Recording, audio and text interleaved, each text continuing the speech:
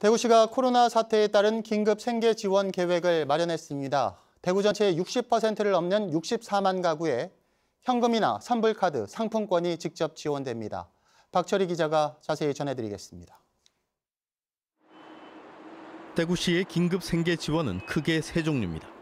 기초수급과 차상위 계층에는 저소득층 특별지원비가, 기준 중위소득 50에서 100% 사이는 긴급 생계 자금이, 중위소득 75% 이하 가운데 위기 가구에는 긴급 복지 지원비가 각각 지원됩니다.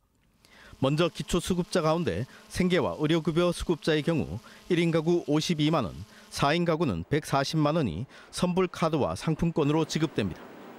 주거와 교육급여 수급자 그리고 차상위 계층에는 1인 가구 50만 원, 4인 가구엔 108만 원이 지원됩니다. 중위소득 50에서 100% 사이 긴급 생계자금은 4인 가구의 경우 월 소득 기준 474만 원 이하, 건강보험료 기준 16만 원 이하가 대상입니다. 1인 가구 50만 원을 시작으로 5인 이상 가구 90만 원까지 선불 카드와 상품권으로 나눠 지급됩니다. 다음 달 6일부터 대구시와 구군 홈페이지 또는 행정복지센터나 금융기관에서 신청할 수 있고 총선 다음 날인 4월 16일부터 지급됩니다. 다만 공무원과 교직원, 실업급여 수급자 등은 지원 대상에서 제외됩니다.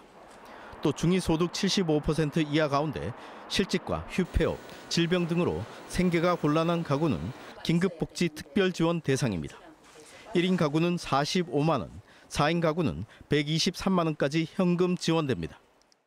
지원 대상을 확대함과 동시에 개별 가구의 위기 상황을 종합적으로 고려하여 실제 생활이 어려운 많은 시민들에게 이 지원받을 수 있도록 하겠습니다. 대구시는 이 같은 내용의 추경 예산안을 의회에 제출했는데 세 종류의 지원을 통해 대구 전체의 60%를 넘는 64만 가구가 혜택을 볼 것으로 추산했습니다. 하지만 재난대책비 사용 등에 대한 정부 협의가 끝나지 않아 당초 계획에 비해 추경안 규모가 크게 줄었고 소상공인 지원 예산은 587억 원을 반영하는 데 그쳤습니다. TBC 박철입니다.